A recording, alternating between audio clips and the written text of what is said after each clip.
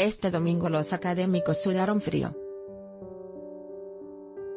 La gente decidiría si uno de los ex académicos regresaba a la casa, y uno de los estudiantes actuales se iba, o si ninguno entraba y daban así a los siete contendientes una semana más para prepararse. Tras hacerla de emoción y ante la cara de nervios de académicos y ex académicos, Adal Ramón dijo que no, ninguno entraba y ninguno se iba.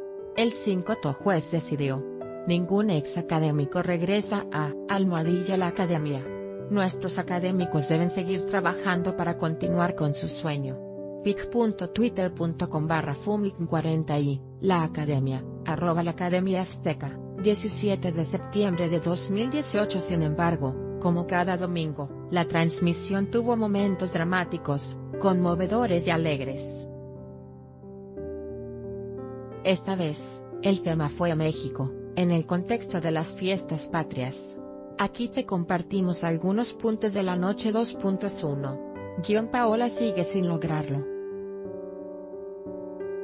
Cada semana, esta académica canta muy bien los temas que se le asignan, pero nada más. Este domingo cantó No Volveré, y Arturo López Gavito le soltó no más ejecuciones hermosas, que se preocupe por el sentimiento.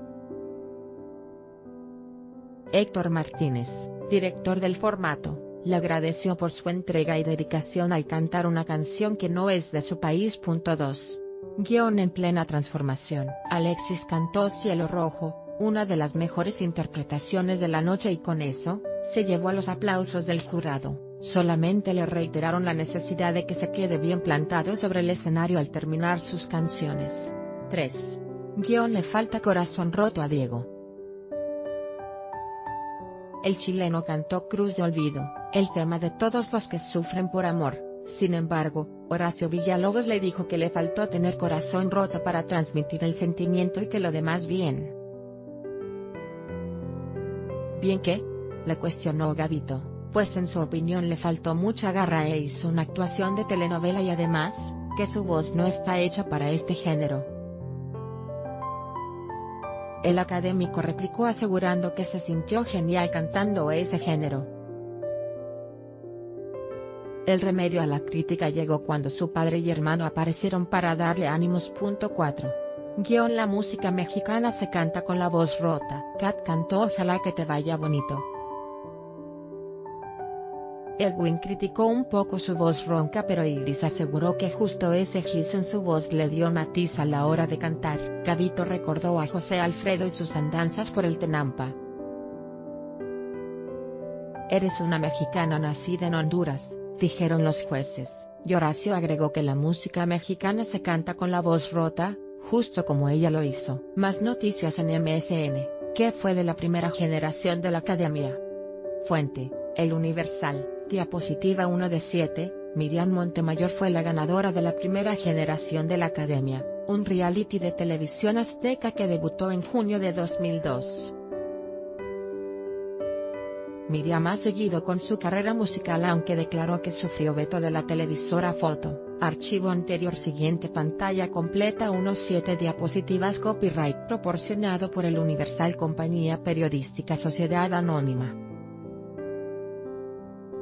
TC.V. Miriam Montemayor fue la ganadora de la primera generación de la Academia, un reality de televisión azteca que debutó en junio de 2002. Miriam ha seguido con su carrera musical aunque declaró que sufrió veto de la televisora Foto, archivo 27 diapositivas copyright proporcionado por el Universal Compañía Periodística S.A. DCV Víctor García lanzó algunos discos, ha participado en telenovelas e incursionado en el cine y la conducción. Foto, archivo 37 diapositivas copyright proporcionado por el Universal Compañía Periodística S.A. DCV. Miguel Ángel fue el tercer lugar de la primera generación, pero se alejó del medio y hace algunos años fue captado vendiendo celulares en un tianguis foto. Archivo 47 diapositivas copyright proporcionado por el Universal Compañía Periodística S.A. DCV Yair es el que ha cosechado más éxitos. Ha lanzado varias producciones discográficas, protagonizó cuatro telenovelas en Azteca y actualmente está en Televisa Foto. Archivos 57 diapositivas copyright proporcionado por el Universal Compañía Periodística S.A. TCV Nadia también ha continuado con su carrera musical. En 2016 dio a conocer un nuevo sencillo foto, Archivos 67 diapositivas copyright proporcionado por el Universal Compañía Periodística Sociedad Anónima. TC.V. María Inés decidió enfocar su carrera en la conducción de televisión foto, archivo 77 diapositivas copyright proporcionado por el Universal Compañía Periodística Sociedad Anónima de CV lanzó algunas producciones como celista, enfocándose en el género ranchero y también incursionó en la actuación foto archivo 77.